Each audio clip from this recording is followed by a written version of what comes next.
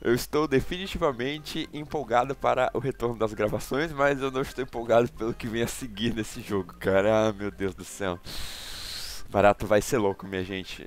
Enfim, fala galera da Elite, Gadozen na área, de volta com o Let's Play de Echo the Dolphin.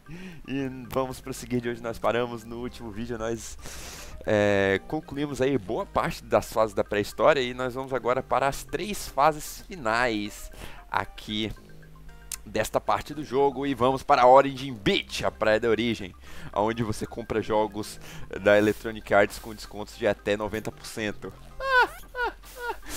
Ai, piada ruim, né? Enfim, vocês viram ali?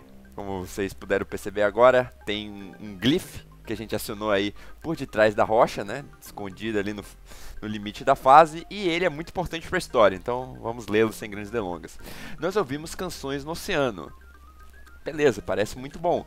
É, sinal de que você tem uma audição muito boa que consegue ouvir é, sinais sonoros sendo emitidos é, dentro da água na terra. Impressionante, hein? Sei nem o que falar. Enfim, brisas à parte. Nós ouvimos a nossa espécie no mar. Ok, né? Só de uma vez escutar, você já sabe que é da sua espécie, né? Então, ok também, tá sabendo legal. Uh, nunca havíamos escutado canções no mar. Beleza. Até aí tudo bem, né? A história tá até que bem plausível. Ok, deixa eu ver aqui onde a gente vai seguir. Bem aqui. Aqui embaixo vai ter um trilobita. A gente vai tratar de matar logo. Vocês viram que eu peguei o glifo chave. Meu foco era mais matar o trilobita mesmo. Ok, pegamos aqui a informação do glifo chave. Ok, o pulo foi miseravelmente errado. Agora a gente tem que pular nessa direção, bem pra cá. E seguir em frente. Vamos lá. Vamos vir bem pra cá, no outro limite da fase. Tem um tubarão ali, ok. E beleza, no outro lado da fase, né, no outro limite da fase, vai ter outro glyph. Continuando a explicação da história. Você canta nossa canção abaixo das ondas. Quem é você? É, eu sou Echo, o golfinho, né? Tá no título do, do jogo, né, cabeção? Ai, caramba, tô, tô muito sem gracinha hoje. Podemos cantar no mar? Podemos viver no mar? Ou poderíamos, não sei. Enfim, é, talvez nós devêssemos tentar, né? Talvez nós vamos tentar. Beleza. Pera aí. Calma aí. Minha gente, senhoras e senhores que estão assistindo esse vídeo, coloquem as suas massas encefálicas para funcionar durante um instante. O Asterite nos envia 55 milhões de anos no passado, para uma época em que a raça do Eco, né, a espécie de golfinhos, né, a raça dos golfinhos, sequer existia. Então, esses dois glifos, o Anunciata e toda a sua equipe de brisados de cannabis, estão querendo me dizer que o Eco foi o responsável pelos seres terrestres irem, alguns dos seres terrestres irem para a água e darem origem à espécie dos golfinhos. É isso que você está me dizendo, jogo. O Anunciata e a sua pizza de cannabis estragada, que ele pegou e fumou também, né? Aproveitando que já estava na pizza mesmo. É, é, e você quer que eu engula isso, jogo. Você quer que eu engula esse pequeno grande fato de que de que é, o Echo foi o responsável, né? Eu não preciso nem dizer que a lógica espaço-temporal desta parada está completamente bugada, né? Não preciso dizer, né? Enfim, já brisas à parte, eu já estou começando a não funcionar direito. Passei ali com um dash para poder a gente desviar de uma corrente que pode puxar a gente para o começo da fase, né? Enfim, vamos vir nessa direção. Tomem cuidado ali com o veneno, vocês viram o veneno ali embaixo vindo nessa direção, escondido bem aqui, ó, um glyph, ó, o glyph bem escondidinho, ó. Vocês podem ver ele bem ali, só a pontinha dele aparecendo. Então, fiquem bem atentos quanto a esse glyph. Ok.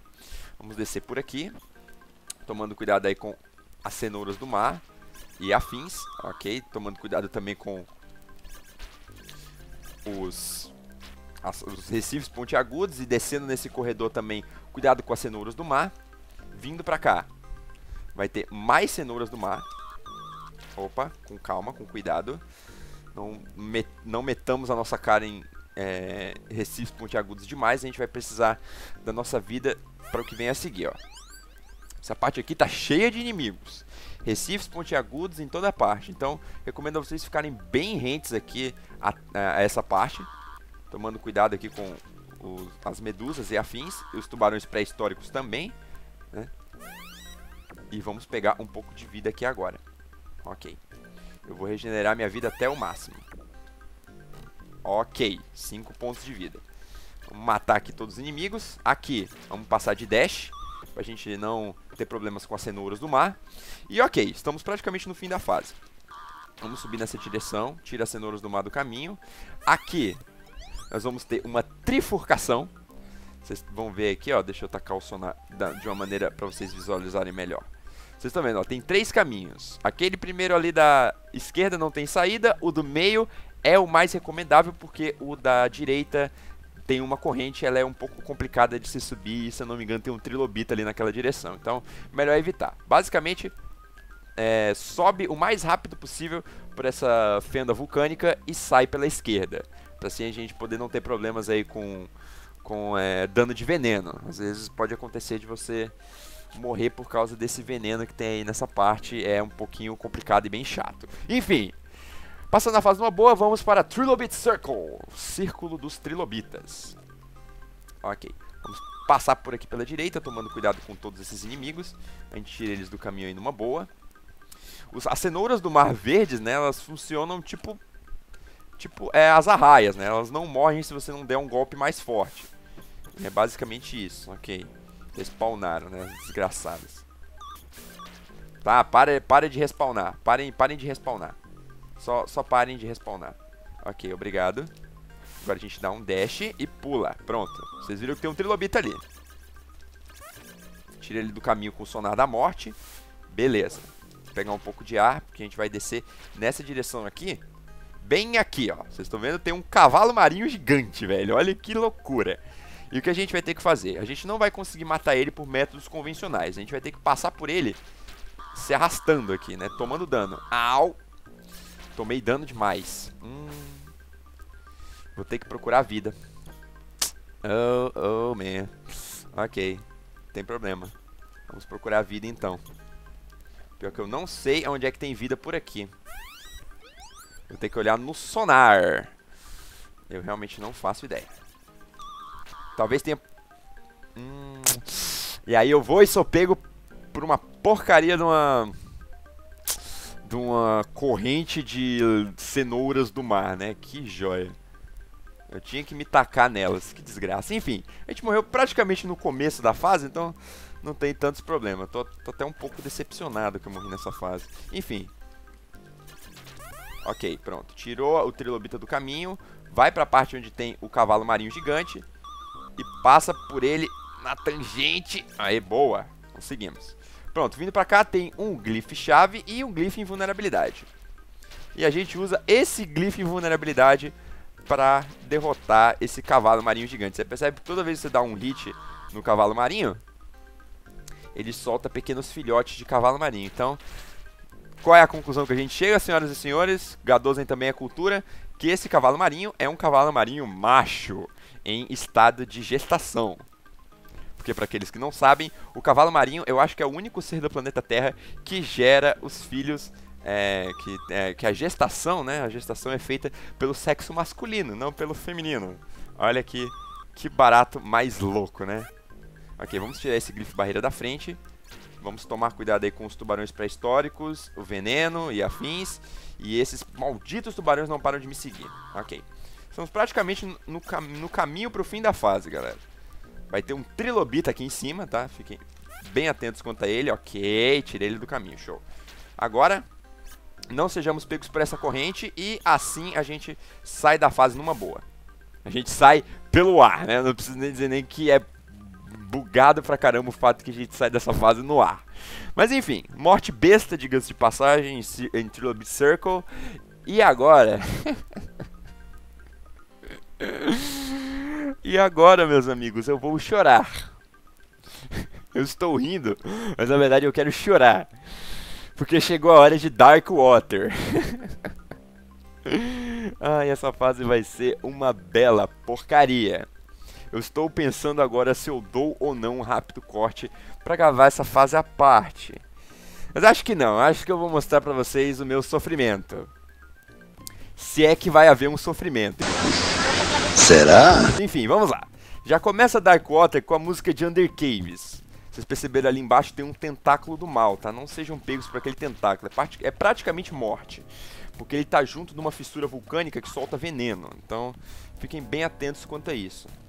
Ok, vamos descer por aqui. Não vão naquela direção. Na direção ali da direita tem um recuperador de vida, tá? Mas também tem um trilobita. Fiquem bem atentos a isso, vai ser complicado. Ok. Chegando nessa parte que tem esse tubarão. Estão vendo essa concha? Lembram da Hard Water? Aquela fase desgraçada que tinha aqueles icebergs flutuantes na água e se você fosse pego por eles você era esmagado e morria? Pois é. Aqui é basicamente a mesma coisa. Uau, consegui passar. Beleza. Vamos ir nessa direção aqui. Aqui no topo, escondidinho, tem um glifo em vulnerabilidade, tá? Vou pegar de novo, só para garantir. E agora nós vamos descer nessa direção. Vão ter mais conchas. Então, fiquei bem atentos quanto a elas. Passei, beleza. Nossa, consegui, cara. No meu treinamento, eu morri pra caramba nessa parte. Vocês não estão ligados. Obviamente, eu treinei essa fase. Eu não sou nem maluco. Enfim. Vamos lá. Oh, calma, calma. Não, não faça besteira, H12, hein? Vai! Não está sendo fácil. E nem treinando eu consigo passar. Mas que desgraça. Filho da mãe.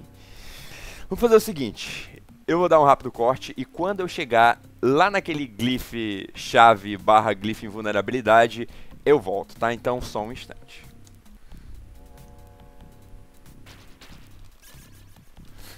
Nossa, caraca, velho. Quase que eu morro. Meu Deus do céu e da terra. Beleza, vamos lá. Pegou o glyph chave, glyph invulnerabilidade. Tudo numa boa, tudo nos quadris. Vamos tentar não morrer de novo da mesma maneira. Beleza, passamos. Show. Vou pegar mais um glyph vulnerabilidade pra gente manter o nosso ar o máximo possível. Vamos lá, sobe por aqui, desvia daquele glyph barreira, ativa esse glyph daqui. E eu quero mostrar uma coisinha pra vocês bem rápida. Vocês estão vendo a, aquele camarada, aquilo ali no mapa, ali em cima? Pois é, minha gente. Aquele dali, se vocês conseguiram ver direitinho, é o Asterite. ah, senhoras e senhores, e é aqui que a minha mente explode. Ela papoca igual uma, sabe, uma bolha de pus, tá ligado? Porque vocês lembram que o Asterite mandou a gente 55 milhões de anos no passado para recuperar o, os globos perdidos dele. Só que ele não falou a parte em que os globos perdidos estão com ele mesmo. Say what? Pois é. Este filho da mãe, que julga-se ser o ser mais inteligente dos mares, acabou de criar um paradoxo temporal um laço temporal, um, qualquer parada filha da puta dessa envolvendo lógica temporal que é bugado, escroto pra caramba. Porque seu grandíssimo filho da mãe se você queria recuperar o, os pares de globo que você perdeu, não seria mais lógico você não ter enviado o eco para pegá-los de, né, de começo? Porque se você não tivesse mandado o eco, você não teria perdido eles para começo de conversa, seu grandíssimo animal de. Eu não posso nem dizer que você é um animal de tetas, porque você é uma cadeia de DNA gigante, seu grandíssimo bosta. Esse jogo é uma brisa só. Eu sei que eu fiquei bugado três semanas aí sem gravar, cara, mas é muito pão com geleia, porra, desse jogo, cara. Entendedores entenderão essa parada do pão com geleia. Enfim. Ah, e agora a gente vai ter que enfrentar o Asterite, cara. E o Asterite é um senhor filho da puta. Obviamente a gente não vai matar o Asterite, afinal de contas ele continua vivo 55 milhões de anos no futuro. A gente vai só pegar a porcaria dos globos que tá faltando nele. A gente vai ter que pegar quatro globos de mesma cor. Eu já tô explicando logo aqui porque eu não quero explicar na hora. A gente vai ter que pegar quatro globos dele de mesma cor. Se a gente errar a ordem, a gente vai ter que pegar quatro globos da mesma cor na sequência. Se a gente errar a sequência, volta no começo. E esse filho da puta, você não pode ficar parado enquanto ataca ele, porque ele vai te tacar raios. Sim, esse desgraçado ataca a gente com raios. Ok. Ai, ai, ai, se você for por meio dele, você também toma dano. Então fiquem atentos a isso. Ok, eu peguei o pá laranja. Então a gente vai ter que cutucar o pá laranja. Não, calma. Não fique parado, Eco. Se você ficar parado, você vai tomar um tá ligado. E, e eh, também a gente tem que se preocupar com a taxa de oxigênio. Né? Que é legal.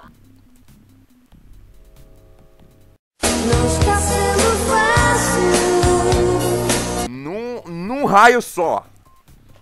Que desgraçado. E é porque eu tava me movimentando, né? Imagine se eu não tivesse. Ai, meu papai eterno. Eu vou ter que dar outro corte, galera. Eu vou ter que dar outro corte lá pra aquela parte. Quando eu chegar naquele glyph barreira, eu volto, tá? Então, só um instante. Beleza, galera. Estou de volta depois de um rápido corte. Já tiramos o glyph barreira da frente. Vamos tentar mais uma vez. Se eu morrer, eu já vou cortar de volta pra cá, tá? Porque... Sem, sem paciência. Vamos lá. Primeiro que eu peguei foi o que? Rosa, né? Tá. Então a gente tem, vai ter que focar nos rosas. Beleza, segundo rosa. Cara, mano, eu já morri duas vezes, cara. Se eu conseguir passar disso aqui agora vai ser muita cagada, cara. Porque eu tô desconcentrado. Eu já tô puto com esse jogo. É, não preciso nem dizer isso. Eu não sei se eu preciso dizer isso. A verdade é que você pode focar sim em outros pares. Eu diria que até o mais fácil é o, pala, é o par marrom. Justamente por ele estar tá tão perto um do outro. Ai, meu Deus do céu. Já errei. Eu já errei. Eu já morri. Meu Deus, Eco, acerta a porra dos globos, desgraçado. Não está sendo fácil. Mais uma tentativa. Asterite, filha da mãe. Laranja 1. Um. Laranja 2. Laranja 3. Ah, filho de uma... Não está sendo Só faltava um. E ele me prendeu na porra do raio. É foda. Marrom 1. Um. Beleza, peguei o marrom. Vamos tentar focar no marrom. 2. Ai, caralho, tomei 2 pontos de vida. 2 pontos de vida. Vamos lá. Marrom 3. Marrom 3. Eu errei, eu não acredito. Eu não acredito. Eu não acredito. Não acredito, simplesmente não acredito. E eu bati no rosa, cara. Puta merda. No, no cinza. Meu Deus do céu, eu tô mirando num e eu tô acertando no outro. Mirei no que vi, acertei no que não vi. Peguei lápis de pau santo, assei e comi. Puta que pariu. Vai! Cinza 3, cinza 3, cinza 3. Vai! Yes! Yes! Filho da puta, chupa que é de uva! Ah, meu Deus, consegui! Ah, caralho! Quantas vezes eu morri? Quatro? Cinco? Sei lá, perdi a conta. Hum, valeu a pena. Valeu a pena, dane-se. Ah, minha nossa, deixa eu respirar. Uh, ok. Depois que a gente pega os globos do asterite, automaticamente a gente é teleportado para o futuro, de volta para Deep Water. Então, beleza, vamos passar da Deep Water e ver quantos minutos de vídeo tá essa parada. Porque dependendo de quantos minutos eu faço a próxima fase também. Ok, vamos lá. Eu não vou morrer na Deep Water, né? Pelo amor de Deus. Dá, já basta a, a quantidade de vezes que eu morri na filha da puta da Dark Water. Não foram muitas, diga-se de passagem, mas eu tendo treinado essa fase, Passei horrores, horrores inimagináveis no planeta Terra para passar essa porcaria. Você, vocês não estão ligados. Vocês não estão ligados na minha sofrência nisso. Eu não poder, eu não podia, eu não poderia ampliar a minha sofrência mais do que já tava, cara. De, defini, definitivamente, cara, definitivamente. Ok, deixa eu ver o caminho aqui que eu já tô mais perdido. É aqui mesmo. já tô querendo ficar mais perdido que criança no Carrefour. Maldito caranguejo, cara. Não, caranguejo, caranguejo é de boa, cara. Comparado com o Trilobita, cara, caranguejo é meu amigo. É meu amigo tocador de birimbau e eu não vou continuar essa rima. Ai, meu Deus, eu já tô tão brisado. Pega, pega essa merda. Pega essa merda aqui, seu grandíssimo filho da puta. Agora eu estou completo de novo e com todo o meu poder. Muito obrigado, Echo. Obrigado por nada, seu grandíssimo corno. Você quis me matar 55 milhões de anos no passado, seu pedaço de merda. E você conseguiu. Quatro, quatro, quatro vezes. Três ou quatro. Enfim, dane-se. Eu morri uma vez pra fase. Mas corno lazarento miserável, nunca vou te perdoar. Nunca, jamais. Agora eu vou te ajudar, vou te dar novos poderes. Cara, tu pode me transformar no super-homem, eu não vou te perdoar pelo que tu fez. Eu sou rancoroso. Cara, quando a pessoa tenta me matar, eu sou rancoroso. Eu sou meio rancoroso. Videogames, né? Videogames, não estou falando vida real. Enfim, use a máquina do tempo atlantiana para voltar, é, para nadar de volta é, no tempo para a hora da tempestade. Ok. Você será levado junto com o seu grupo. Você verá o inimigo não visto. Ok. Use essa canção para retornar à sua Bahia natal momentos antes da tempestade. Com esses novos poderes, talvez você possa salvar o seu grupo. Beleza, né? Talvez e só talvez. Grandíssimo corno. Eu te odeio, Asterite, eu te odeio. Você é um burro, você é um animal, você é um desgraçado e eu te odeio. É, você é o ser mais tapado dos mais, não mais inteligente. Enfim, como vocês puderam perceber, ó, vocês podem ver no canto superior é, esquerdo da sua tela que a nossa barra de oxigênio sumiu. Porque não só o Asterite nos deu o poder de respirar infinitamente debaixo d'água, como também a gente regenerar a nossa vida. E basicamente é isso, a gente sai dessa fase direto para City of Forever. Vocês querem saber de uma coisa? Eu já tô de saco cheio. Eu, já, eu chego, eu fiquei com uma mini dor de cabeça aqui, cara, por causa de Dark Water. Porque eu tive que fazer a mesma fase cinco vezes. Corno, lazarento, miserável, Asterite, cara. Eu te odeio. Enfim. Eu nunca vou deixar de te odiar. No próximo vídeo a gente continua. E se vocês, por um acaso, pensam que a parada vai ficar melhor, talvez. E só talvez. Porque pra mim Dark Water é a pior fase do jogo. Mas com os eventos que aconteceram no episódio de hoje, que foram até bem bons, apesar de eu ter morrido cinco vezes em Dark quatro vezes em Dark Water, só ter passado na quinta tentativa, deu certo. Isso é o que importa. Então, no próximo vídeo, City of Forever e vamos ver o inimigo não visto. Gadozen se despede. Um abraço a todos e até a próxima. Valeu. Fui!